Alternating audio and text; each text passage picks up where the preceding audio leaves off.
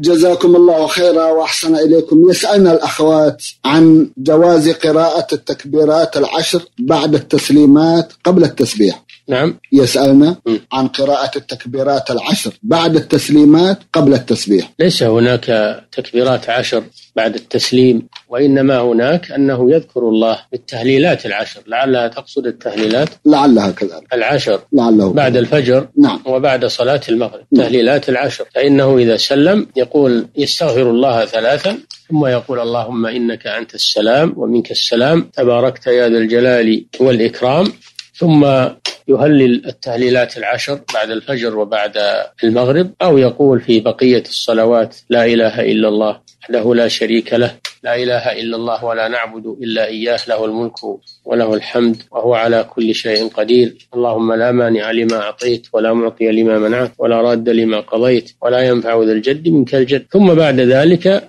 يسبح الله ثلاثا وثلاثين ويحمد الله ثلاثا وثلاثين ويكبر الله ثلاثا وثلاثين ثم يقول تمام المئة لا إله إلا الله وحده لا شريك له له الملك وله الحمد وهو على كل شيء قدير. هذا هو الذكر المشروع بعد بعد الصلوات.